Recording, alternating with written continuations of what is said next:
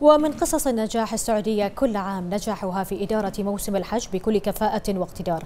وهذا العام نجحت المملكة العربية السعودية في إدارة موسم حج استثنائي في ظل تفشي فيروس كورونا دون تسجيل أي إصابة بالفيروس. ضمن إجراءات غير مسبوقة استطاعت من خلالها أن تكسب إشادات عالمية. على امتداد التاريخ والمملكة العربية السعودية تسطر أروع النماذج في إدارة الرحلة الإيمانية حيث برهنت المملكة للعالم بأسره قدرتها في إنجاح موسم حج استثنائي رغم ظروف الجائحة التي تحط برحالها على العالم بأسره.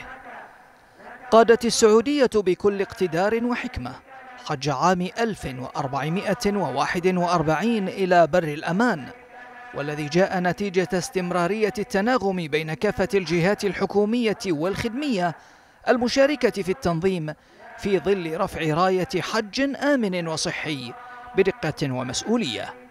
ومن منطلق حرص المملكة على أن تقام الشعيرة المباركة رغم الجائحة طبقت السلطات السعودية هذا العام آليات صحية مشددة وإجراءات صارمة تواكب الحجاج منذ وصول قوافلهم المباركة حتى طواف الوداع.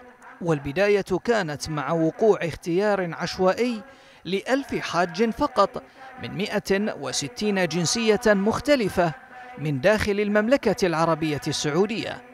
متتبعين مسارات تراعي التباعد الاجتماعي والإجراءات الاحترازية. حيث شهد العالم صورة فاخرة للطواف حول الكعبة المشرفة بتناسق وبمنظر مهيب. وفي ختام موسم حج كان الأكثر استثنائية في التاريخ نجحت السعودية بشهادة الجميع في جهودها المضيئة التي بذلتها في موسم حج هذا العام والتي لم تقل شأنا عما بذلته في المواسم الماضية. بل أنها تميزت باحتياطات صحية غير اعتيادية التي أشادت بها منظمة الصحة العالمية وتوج حج 1441 برحلة مطمئنة إلى المشاعر المقدسة لأداء المناسك دون وقوع أي إصابة بالفيروس. اللهم لبيك لبيك لا شريك لك. الحمد والنعمة. لك والملك لا شريك لك. لبيك اللهم لبيك.